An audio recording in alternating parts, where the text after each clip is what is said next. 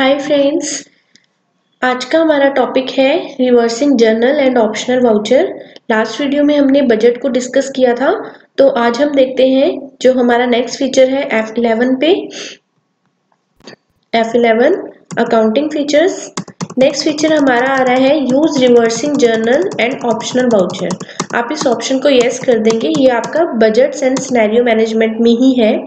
जब आप इस ऑप्शन को यस करते हैं तो देखते हैं हमारे पास कौन कौन से वाउचर्स इनेबल हो जाते हैं। तो आपने क्या करना है? Use reversing journals and optional voucher को यस कर देना है। देन एक्सेप्ट करना है। चलिए अब देखते हैं। अकाउंटिंग वाउचर्स पे हम आते हैं तो हमें यहाँ पे कौन कौन से वाउचर्स मिल रहे हैं? एक यहाँ पे इनेबल हुआ है रिवर्सिंग जर्नल और एक हुआ है मेमोज वाउचर तो इन वाउचर्स का यूज़ हम क्यों करते हैं? चलिए देखते हैं। सबसे पहले हम मेमोरेंडम वाउचर की बात करते हैं। मेमोरेंडम वाउचर होता है memos voucher control F ten क्योंकि एफ़ टेन के नीचे डबल लाइन्स है, इसलिए इसको कंट्रोल के साथ हम यूज़ करेंगे। मेमोरेंडम वाउचर होता है कोई भी मेमोरी के लिए अगर आपको कोई एंट्री करनी है। मान लीजिए आपने अपने ऑफ़िस बॉय को फाइव हंड्रेड रुपीज़ दे रखे हैं, कुछ भी स्टेशनरी का सामान लाने के लिए। बट आप श्योर नहीं है कि वो सामान 500 का आएगा, उससे कम का आएगा या उससे ज़्यादा का आएगा। तो आप जस्ट मेमोरी के लिए रखना चाहते हैं कि आपने ऑफ़िस बॉय को फाइव हंड्रेड रुपीज़ पे कर रखे हैं। किस लिए? स्टेशनरी के लिए। तो आप एज अ मेमरी उसको एंटर कर सकते हैं। आप नॉर्मल उसको पेमेंट में एंट्री नहीं कर सकते क्योंकि आपने अभी एक्चुअल में जितना अमाउंट का वो आना है स्टेशनरी का सामान आना है, उतना आपने पेमेंट नहीं किया। आपने जस्ट मेमरी के लिए रखना है, जिसका किसी भी अकाउंट पे कोई इम्पैक्ट नहीं पड़ेगा। तो अगर आपको कोई ऐसे मेमरी के लिए एंट्री करनी है तो उसके लिए हम यहाँ पे मेमोज वाउचर ओपन करते हैं। Control F ten memorandum voucher तो चलिए हम एंट्री करते हैं। मान लीजिए मैं फ़र्स्ट चैप्टर में ही एंट्री कर रही हूँ। यहाँ पे हम एक लेजर क्रिएट करते हैं। का। अंडर इनडायरेक्ट एक्सपेंसेस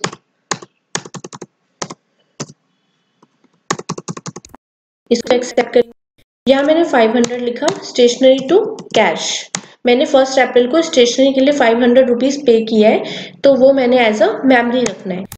मैं यहाँ पे एक्सेप्ट कर देती हूँ। अब आप चेक करेंगे तो देखिए डिस्प्ले पे आएँगे। यहाँ पे आपको एक्सेप्शन रिपोर्ट्स में मेमोरेंडम वाउचर्स के अंदर जितने भी एंट्रीज आपने मेमोरीज में रखी होंगी, वो सारी आपको यहाँ पे शो हो जाएँगी। देखिए यहाँ पे, इसका आप देखेंगे कि फॉन्ट भी अलग आ रहा है। तो ऐसे जो होता है, वो मेमोरेंडम वाउचर होता है। अब अगर हम यहाँ पे स्टेशनरी का लेजर ओपन करें अकाउंट्स बुक्स पे आप जाएँगे लेजर पे जाएँगे, यहाँ पे हम स्टेशनरी का लेजर ओपन करते हैं। तो देखिए स्टेशनरी के लेजर में कुछ भी अमाउंट नहीं आ रहा। इट मींस कि स्टेशनरी के अकाउंट पे कोई इम्पैक्ट ही नहीं पड़ रहा उस एंट्री का, जो आपने एज अ मेमोरी रखी है। बाद में जब आपको पता चल गया कि जो स्टेशनरी का सामान था, वो थ्री हंड्रेड रुपीज़ का आया और आपने उसकी रियल एंट्री करनी है और मेमोरी से उसको हटाना है। तो आप क्या करेंगे? यहाँ पे आपको एक्सेप्शन रिपोर्ट्स पे आना है। आप अपनी वही मेमोरेंडम वाउचर्स वाली एंट्री को ओपन करेंगे, यहाँ पे सेम वही एंट्री आपने ओपन कर देनी है और यहाँ पे मेमोरेंडम की जगह F5 प्रेस कर देना है। ये आपकी एंट्री F5 में हो जाएगी। 300 पेमेंट हुई है तो 300 की आप एंट्री करके इसको एक्सेप्ट अब देखिए, यहाँ से मेमोरेंडम में जो एंट्री थी, वो यहाँ से हट चुकी है और जो आपकी एंट्री स्टेशनरी की थी, वो यहाँ पे शो हो जाएगी। अब आपको स्टेशनरी का लेजर ओपन करते हैं। देखिए 300 हमारा एज अ पेमेंट स्टेशनरी के लेजर में शो होने लग गया। तो ऐसे करके हम मेमोरी के लिए एंट्री को रख सकते हैं और उसके बाद जब हमें उसको नॉर्मल में लाना हो तो हम जो जिस वाउचर में एंट्री होगी, उस वाउचर में नॉर्मली एंट्री को ला सकते हैं और वो उसी के अकाउंट में फिर इम्पैक्ट भी आपको दिखा देगा। तो ये सारी चीज़ें जो होती हैं, ये हमारे पास ऑप्शन आता है। ये रिवर्सिंग जर्नल का जब हम यूज़ करते हैं। तो चलिए एक और हम देख लेते हैं यहाँ पे। मेमोरेंडम के अलावा और कौन सा वाउचर होता है? और हमारे पास यहाँ पे आया रिवर्सिंग जर्नल अब रिवर्सिंग जर्नल वाउचर का क्या यूज़ है? रिवर्सिंग जर्नल जो वाउचर है, वो एक स्नैरियो को क्रिएट करने के लिए बनाया जाता है। कि एक हमें कोई स्नैरियो बनाना है, आप मान सकते हैं कि वो एक फेक स्नैरियो भी हो सकता है, या आपको किसी पर्टिकुलर डेट के लिए वो स्नैरियो बनाना है। फॉर एग्ज़ाम्पल देखिए प्रॉफिट एंड लॉस पे है। ऑल्ट एफ़ वन आपने प्रेस किया। अब हमारे पास जो इसमें मैक्सिमम एंट्रीज हो रखी है इस हमारी कंपनी में, जिसमें मैंने आपको शुरू से लेके अभी तक सिखाया है, उसमें हमारे पास first April to thirty first May तक की एंट्रीज हमने की हुई है। तो हमारा जो प्रॉफिट आ रहा है, वो हमारा ये आ रहा है नेट प्रॉफिट अब मैं चाहती हूँ कि जब मैं थर्टी फ़र्स्ट मई को first April to thirty first May जब मैं अपना चेक करूँ प्रॉफिट तो मेरा प्रॉफिट इस अमाउंट से फाइव थाउज़ेंड रुपीज़ कम आना चाहिए। मैं प्रॉफिट कम शो करवाना चाहती हूँ। अब अगर आपको प्रॉफिट कम शो करवाना है तो इट मीन्स कि आपको अपने एक्सपेंसेस बढ़ाने पड़ेंगे। क्योंकि मान लीजिए मेरे को अपनी रिपोर्ट किसी को भेजनी है और मैं चाहती हूँ कि मेरे को प्रॉफिट कम दिखा के शो करना है। फाइव थाउज़ेंड रुपीज़ यहाँ पे ज़्यादा शो हो रहा है। तो मेरे को, मेरे ऑनर ने बोला कि भाई ये प्रॉफिट को कम शो करवा दो एक पर्टिकुलर डेट पे। अब आप देखिए, कोई भी प्रॉफिट आपको कम करवाना है इट मीन्स आपको एक्सपेंस दिखाना पड़ेगा। बट वो एक्सपेंस आपका रियल तो हुआ नहीं है। आपको एज अ फेक ही उसको करना पड़ेगा स्नैरियो ही बनाना पड़ेगा उसका।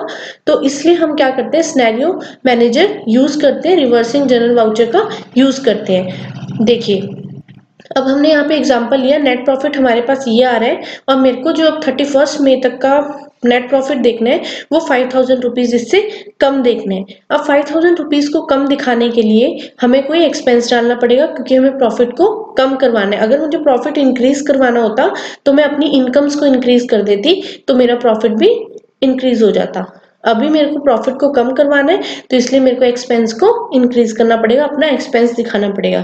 तो चलिए आप कैसे करेंगे ये एंट्री को? देखिए, आप आएँगे रिवर्सिंग जर्नल वाउचर पे।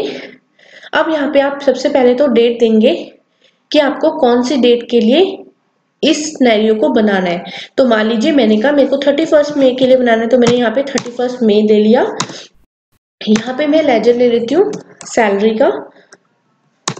सैलरी एक्सपेंस दिखा देती हूँ। कोई सा भी एक्सपेंस आप दिखा सकते हैं, कोई प्रॉब्लम नहीं है। आप कोई भी एक्सपेंस को शो करवा सकते हैं। सैलरी ले लिया और यहाँ पे फाइव थाउज़ेंड अमाउंट लिया। सैलरी टू अब मैंने सैलरी कैसे पे की? मान लीजिए मैंने कहा मैंने बैंक से पे करी। तो मैंने यहाँ पे टू बैंक ले लिया। एप्लीकेबल अप टू अब वो ये आप, आपको दिखा रहा है, जिस डेट पे आप एंट्री करते हो, उसी डेट पे वो आपको एप्लीकेबल भी करता है कि ये जो आप स्नैरियो बना रहे हो, ये थर्टी फ़र्स्ट मई तक के लिए ही वैलिड है, इसके बाद आप देखोगे तो ये वैलिड नहीं है। मतलब ये स्नैरियो सिर्फ़ थर्टी फ़र्स्ट मई तक के लिए बन रहा है। ओके तो आप यहाँ पे इस डेट का ध्यान रखेंगे। जिस डेट पे ट्रांजेक्शन हो रही है, उसी डेट तक के लिए ये स्नैरियो आप क्रिएट करते हैं। आप इसको अब हम देखते हैं, आपने क्या करना है? अकाउंट्स इन्फो पे आना है। अभी जस्ट हमने रिवर्सिंग जर्नल में एंट्री की है। आपने उसके बाद स्नैरियो क्रिएट करना है। स्नैरियोस पे आना है। क्रिएट करना है। यहाँ पे स्नैरियो को कोई भी नाम दे सकते हैं। ए बी सी कुछ भी नाम दे दीजिए आप।